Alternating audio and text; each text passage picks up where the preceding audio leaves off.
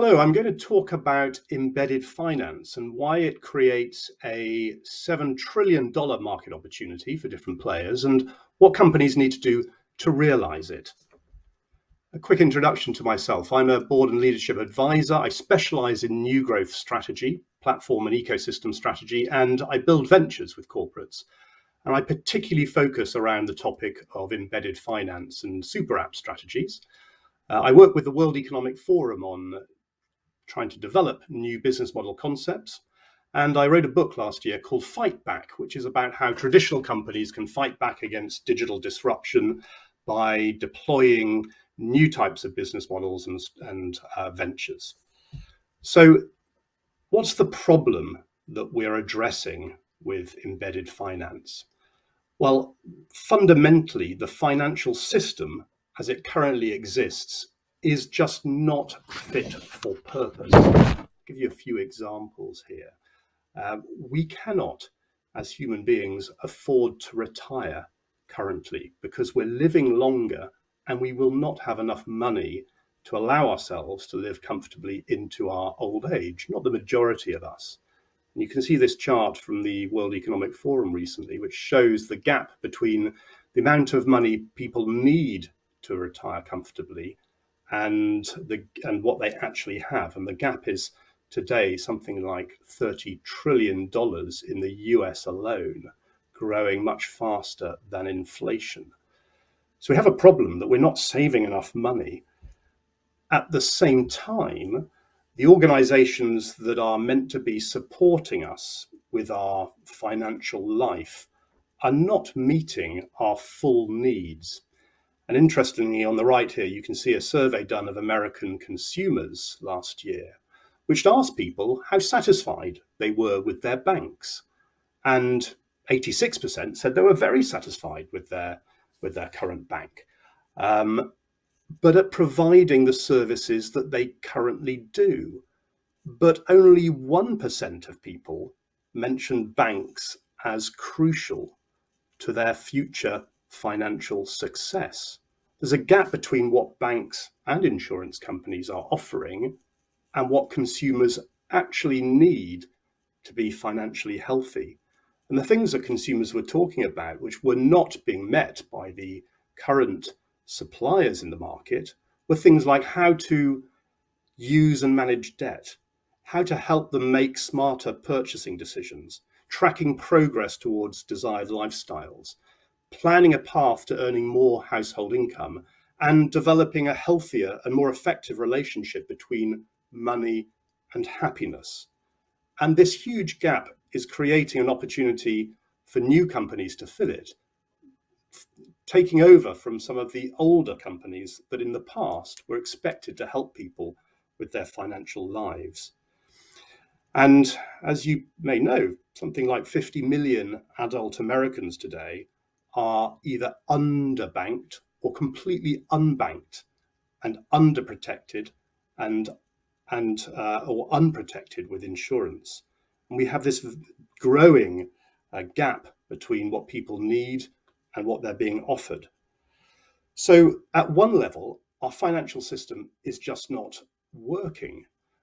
On the other side, in terms of those who are trying to supply solutions to the marketplace, they're old business models are out of date. And if you look at this chart, it compares the average economic profit generated by companies in 23 different uh, sectors. And this is a, a, global analysis, but the principles apply in, in every country. But if you look at the average economic profit of companies within these different sectors, you can see that those operating in the financial services were doing, on average, pretty badly before COVID, before 2018. And then McKinsey looked at what that, what the trends and the acceleration in digitization, what that effect would have looking forward. And you can see that for insurance and banks, you know, it's going to get worse. And that's because digitization creates new competition. It raises uh, consumer expectations. Sometimes it creates new regulations, which, which are difficult to deal with. And, and so we have a problem with the companies that are trying to service the business models that they created over the last hundred years are not creating value for themselves. Economic profit is a pure measure of profit after cost of capital. It's not what they uh, what they uh, publicly announce, and it's a purer measure of whether the decisions that leaders are making about where to allocate resources are creating a good return. Now, there are some companies that are doing extremely well and are expected to do even better uh, as digitization accelerates, and those are the software companies. And there are some, as you know, most of the big software companies are some of the biggest companies in the world, but some of the leading companies in financial services now are those that have heavily adopted software business models. And you can see some examples on the top right. And they now uh, are in the top 10 of the global financial institutions by value, whereas 10 years ago they wouldn't have been. So the business models of the suppliers into the market and not working. The type of business models that are working best are software based business models. But also, um, you can see that there are plenty of other sectors that are also suffering that are not super fit for the future as well. And these are non financial service uh, sectors that are looking to work out how they add greater value to their customers and how they create a stronger economic profit. And I think Jamie Dimon, you can see on the right here, the, the CEO of JP Morgan, one of the biggest and actually one of the most successful US banks, he he can see the future. And even though his bank is doing pretty well today, he says, I think the translation here, he is rather worried about how digitization is affecting the business models of incumbent businesses. Now, there's another problem as well. If we're, when, as a society, we're not being able to give people what they want, and the, the supply base is not making a good profit out of doing so, we've got completely new consumers who are entering the workforce um, with completely new behaviors that we who run large companies are not used to dealing with. And these are, people call them Generation Z. And you can see on the right hand side here the how large a proportion of the North American labor force uh, they're going to become. In five years' time, it'll be 20%, three times bigger than it is today plus millennials that are pretty digital as well, you've got over 60% of the US labor force in, in four years' time uh, that are very digitally savvy. And in 10 years' time, it's going to be even greater than that.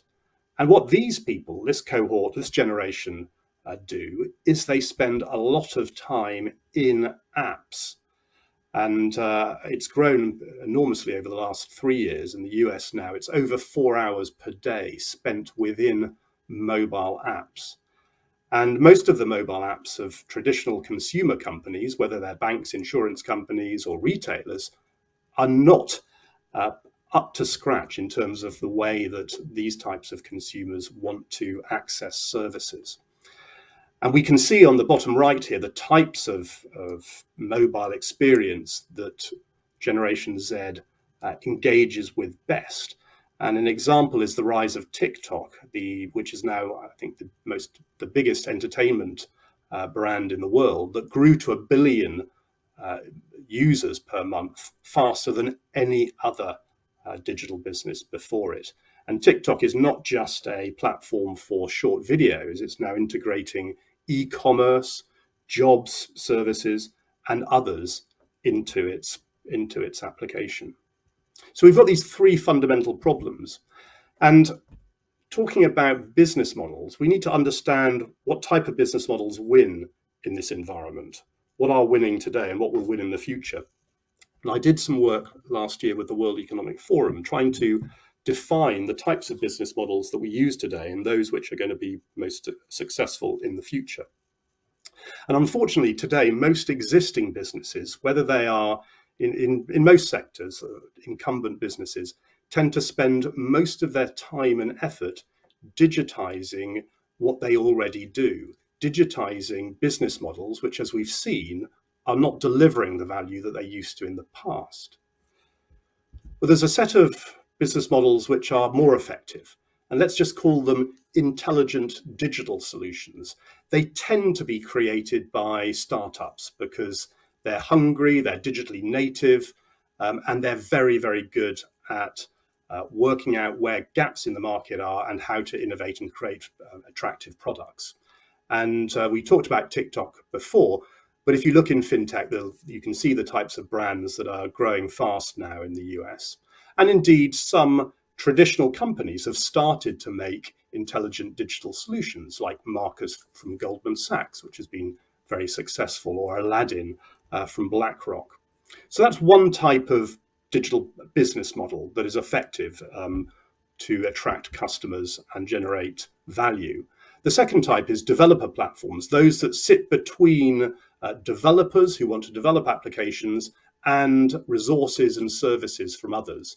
And from the uh, telecom sector, Twilio was very, very successful. And we're starting to see similar platforms emerge in financial services with Stripe and payments, Plaid with bank accounts, and Marqeta, as we heard earlier on today, in terms of enabling anybody to create credit cards. So developer platforms are a, a, a very strong digital business model archetype. And then online marketplaces have been around for some time now, the classic being eBay. And then we had the wave of Airbnb and Uber. And we're starting to see online marketplaces emerge in financial services as well, like Policygenius in insurance. But the ultimate the most powerful type of digital business model is what we can call ecosystem orchestration, where you're doing a combination of those other things that I talked about, and you're connecting them together into a self sustaining, coherent whole. Some people call these uh, platform, super platform business models, and many of them create super apps as part of their proposition. And I've given a few examples at the top there. That's the ultimate uh, powerful digital business model. And many of the companies that are operating in, in intelligent digital solutions or developer platforms or online marketplaces have an ambition to create a rich uh, ecosystem around themselves uh, to create sustainable growth into the future. So, where does embedded finance fit in? What is it?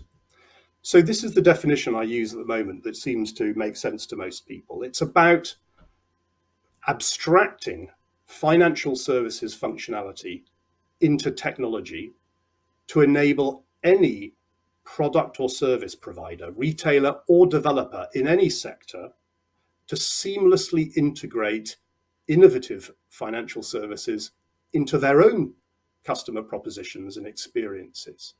So it's like a, in, in a way, it's a type of developer platform that enables other people to create innovative financial services and support the way they interact with customers. And they can be completely invisible native components in the way that Uber makes it you don't have to get your credit card out when you go into an Uber car or Uber provides insurance for its drivers as part of its service. Uh, or it could be additional complementary add-ons in the way that Shopify, that manages hundreds and, and thousands of small businesses on its platform, provides payments and lending and insurance services to its, its users. It's, it's a complementary add-on service to a customer base, which can be very profitable and Shopify makes about 50% of its revenue now from financial services.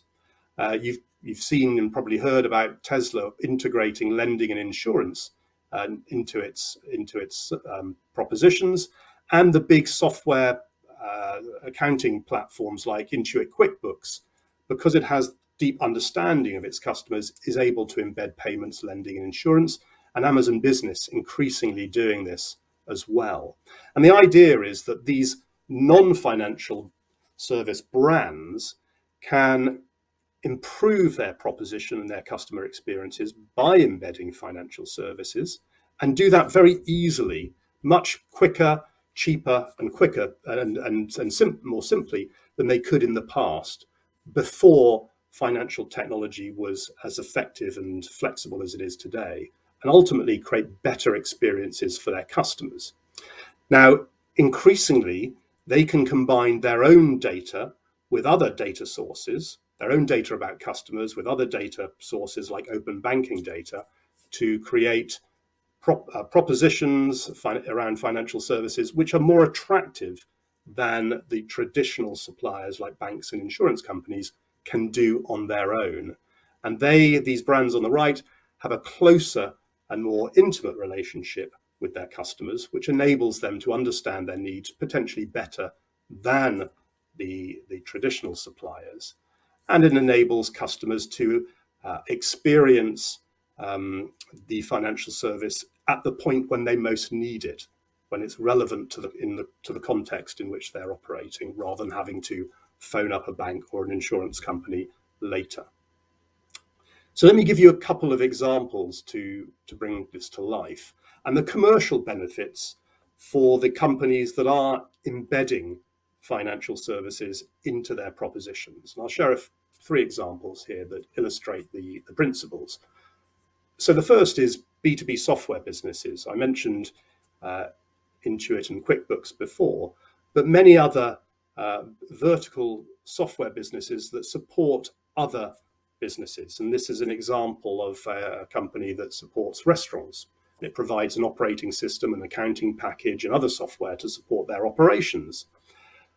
But it's realized that because it has this very close relationship with its customers and it understands their business intimately, it's, it's capturing data on a, a real time basis about the growth and the uh, and the operations of those businesses, it's in a much better position to offer payment services or personalized loans or insurance than a traditional uh, bank or insurance company because it can see exactly when people might need those services in real time before they've even realized it themselves.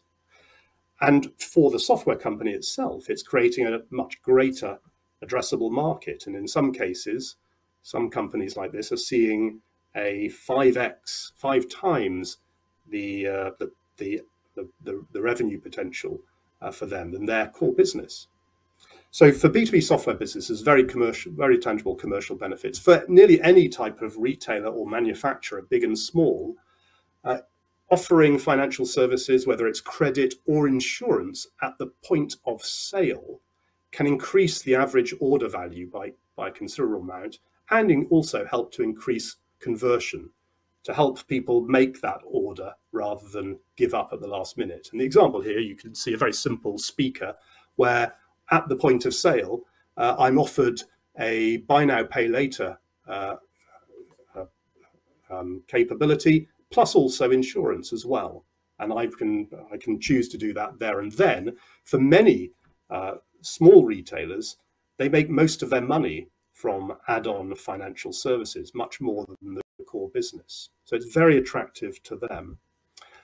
And then if you think about the big digital platforms that, that have a lot of customers that interact with them on a regular basis, they have much more intimate knowledge and understanding of those end users and are able to engage with them and educate them much better than can the traditional suppliers.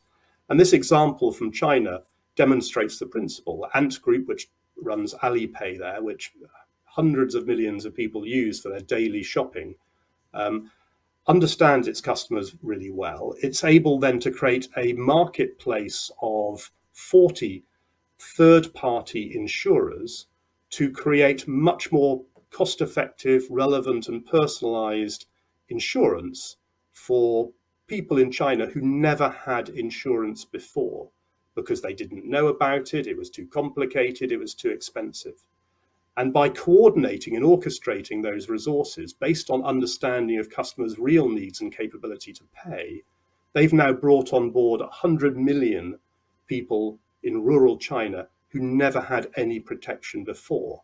And that same principle is applicable to the United States as well. If you have 50 million people who are under or unprotected, there is a way working with people who have that much more intimate interaction with them to address that problem. So let's look at the size of the market. Um, And I, I, did some analysis and extrapolation based on what was going on in the in the payments world. And if we look at how new suppliers like Stripe and others are enabling other brands to to embed payment capabilities into their proposition. Um, and you look at the growth of those businesses and the proportion of total um, revenues from payment distribution and extrapolate that forward, you get to a quite a significant number, maybe 40% of the market, and this is just the US, could be facilitated by embedded um, solutions.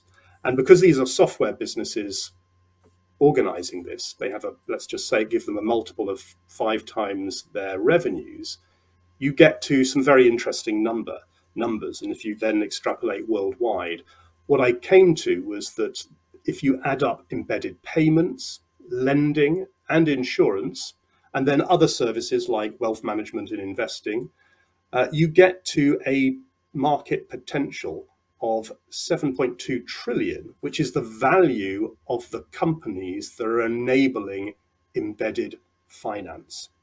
And that tends to be a multiple of the revenues that go through their platforms.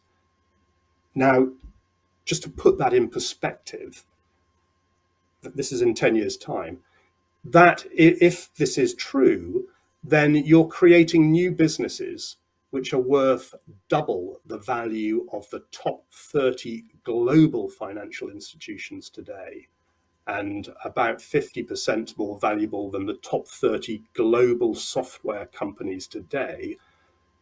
Because what's happening is that financial technology is becoming a new innovation platform on which new businesses are being created, enabling embedded finance.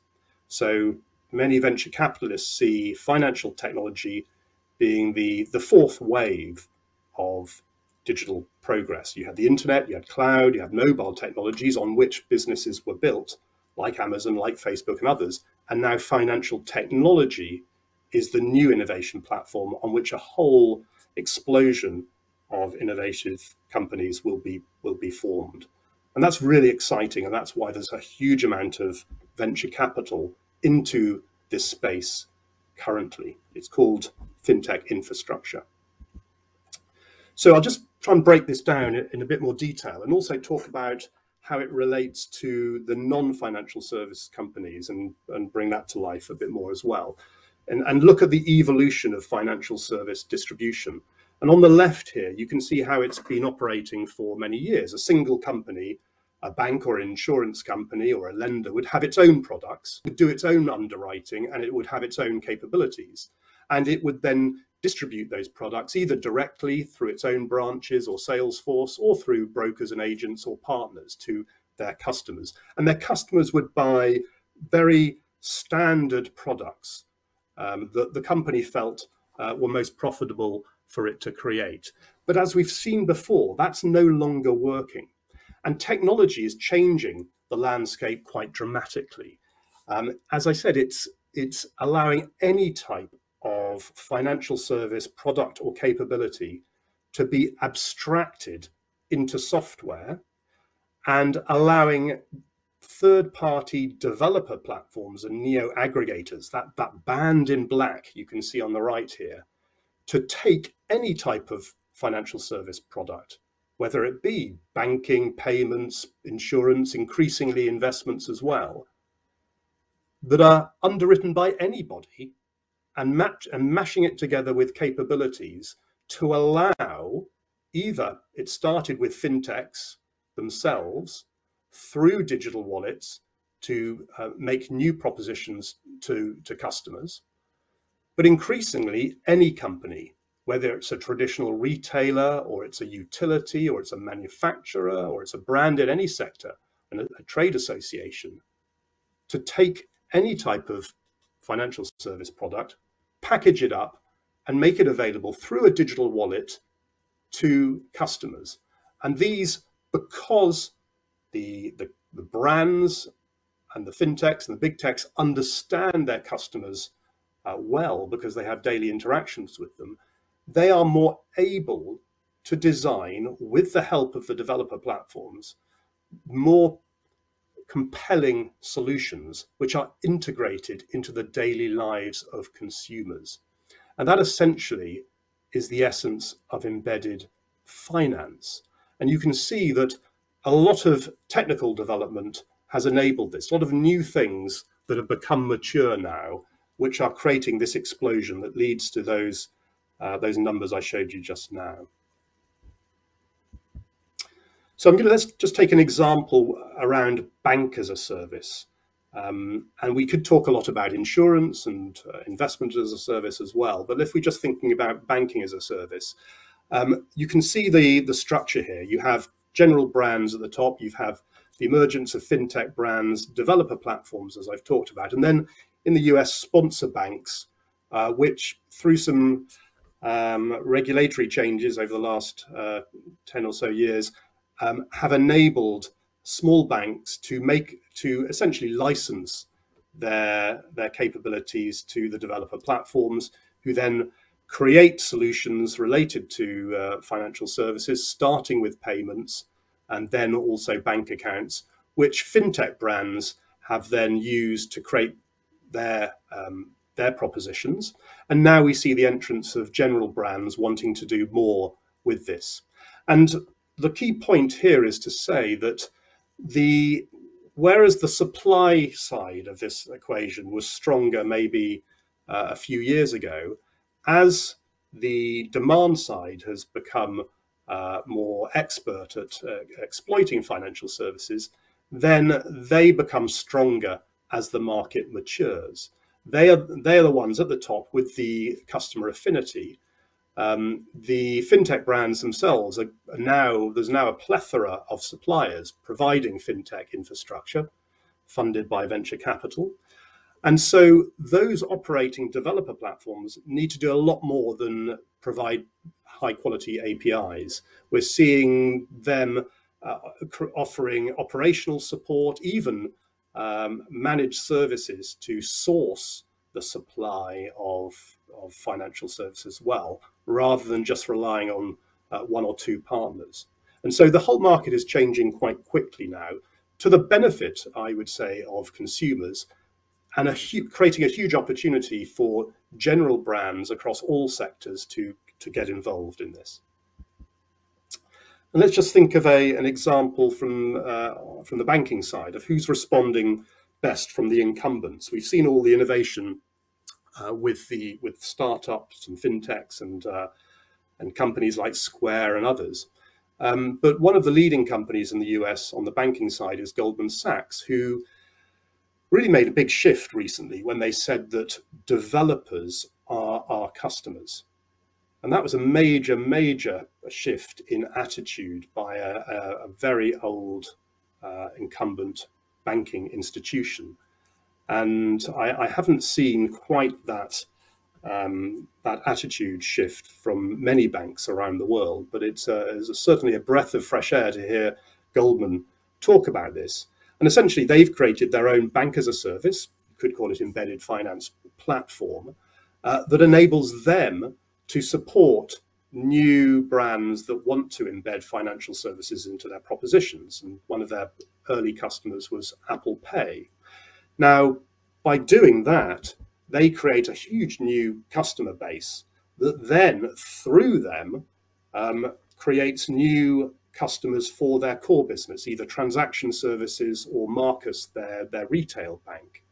So it's a clever strategy to engage developers at third party brands with, to in, embed financial services into their propositions they generate new customers and they drive customers for their other businesses as well, creating a lot of synergy between what they're doing.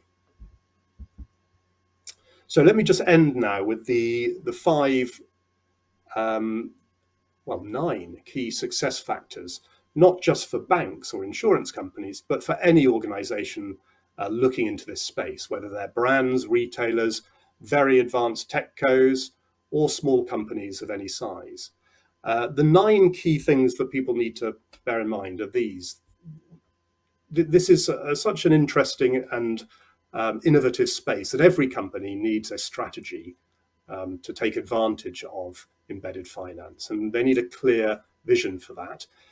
It's not one solution won't be enough. They need to create a rich portfolio and they need new ways of looking at what customers really want. They need to apply the discipline of the startups and the fintechs, which are really good at understanding and spotting unmet needs in the market. Uh, and to think about new types of commercial models to support them. The old ways of doing business in terms of how they make profit are not going to be uh, successful in this world it's critical that you create a separate space in which you can do innovation in this space. Trying to innovate from within the core business is almost always a recipe for disaster. And you need to ring fence enough investment to make it effective. And then you need new methods to scale up your activity.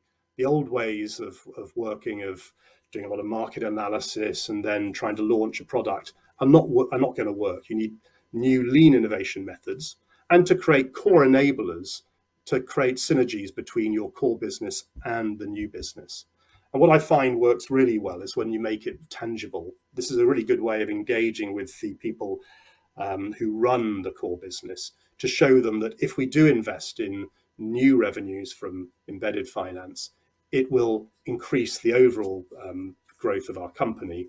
Uh, and having that discussion with those who run the traditional business is very effective, particularly if you can show how the embedded finance activity will also drive demand for the core.